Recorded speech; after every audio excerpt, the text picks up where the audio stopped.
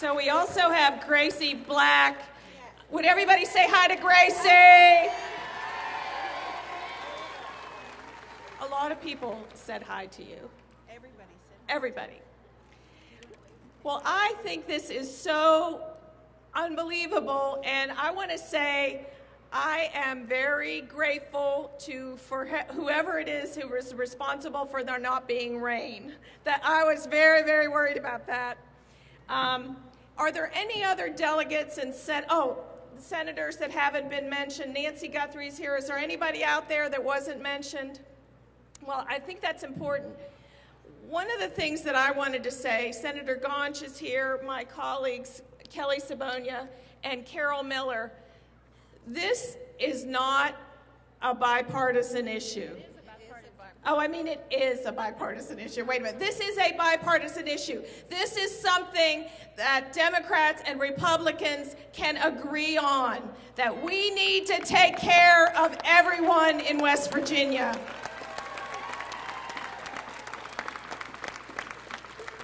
And, and I want to I want to step back a little bit because um, a lot of you know that there's a really proud history and also a really ugly history uh, with people who have had disabilities and have been fighting for their rights.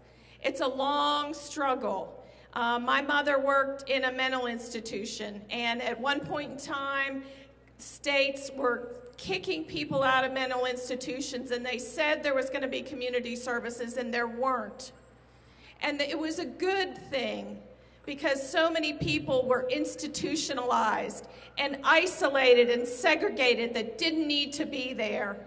But it was a rough time. And the way that that happened, and that's what I want to remind you it was protests, it was lawsuits, and it was laws new laws, but it, it started with protests, it started with people suing.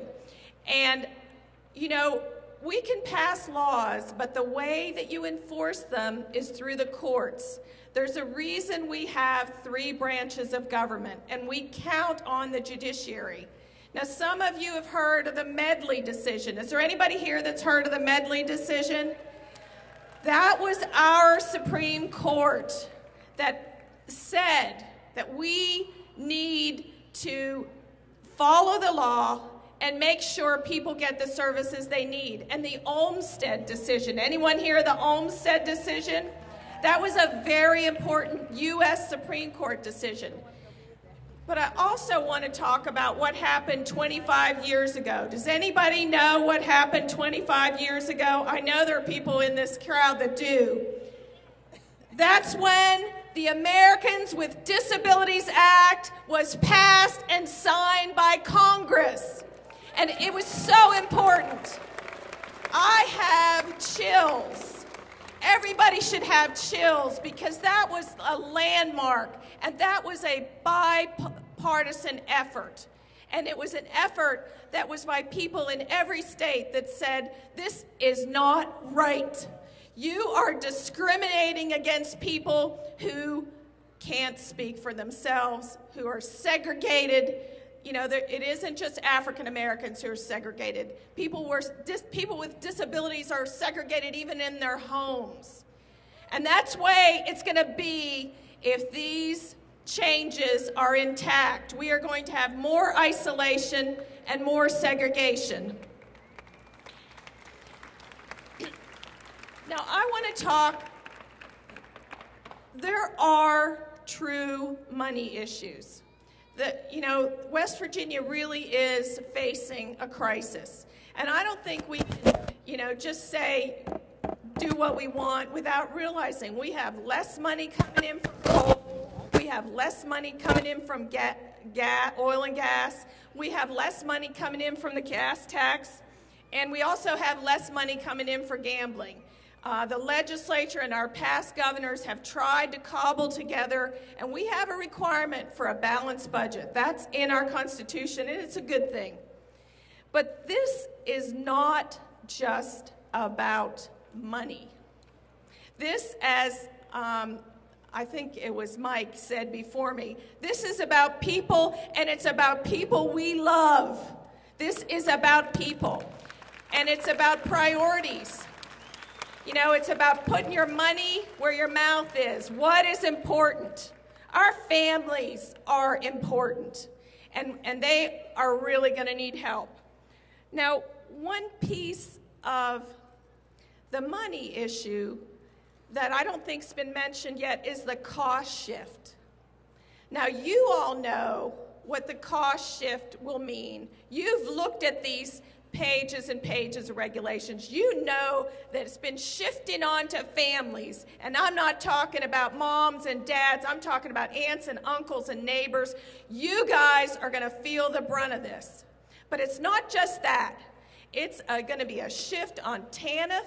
It's going to be a shift on, um, or on welfare, on Medicaid, and it's going to cause bankruptcies. Some families, our members, are not going to be able to go to work because they don't have the supports they need. We, it is going to have an enormous economic effect. It's not just saving $40,000. This is going to be a widespread economic effect. This on. Are you a first-time mother? Yes. Congratulations. A lot of people- I've read your letters. We've, we've read your letters. And, and we know how, how scary this is. Um, but we've been there before. It actually has been even worse before. And one of the things we can't forget are the people that are on the waiting list. Just think how they're managing. We have to remember the over 1,000 people that don't have any waiver services at all. So this is going to be tricky to juggle this, but I want to end with just a couple of suggestions.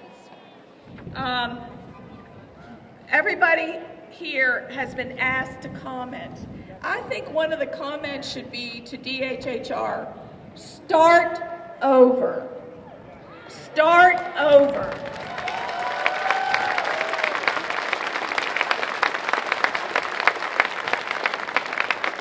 And I also want to say how important it is to keep protesting. The squeaky wheel gets the grease.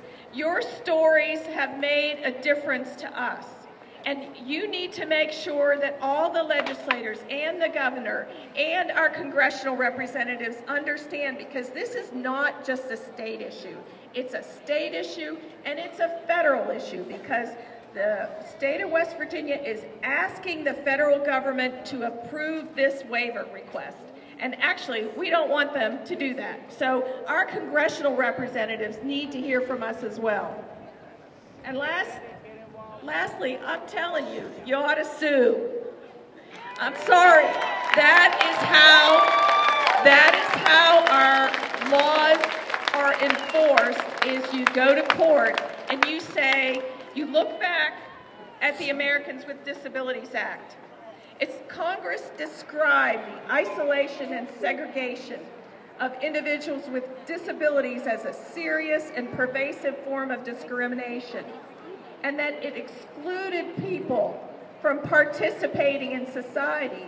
And it said that government agencies may not exclude people from participation in or be, deny the benefits of, of a public entity's services, programs, or activities. Now, I'm not really sure what that means, but the way we find out what it really means is through the courts. And we have a good court system in West Virginia. We have a good court system in our federal government. And you have, you and your families have a right to the most integrated setting appropriated, appropriate to your needs. That's what you're entitled to. So let's go get what we're entitled to and let's keep up the noise.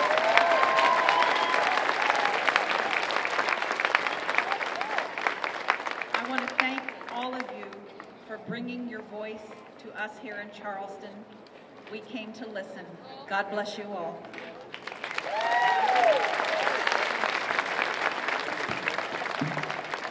Say thank you for being here for your families, and we want you to know that the legislators here today stand here with you, and we support you and your families. Thank you, and God bless.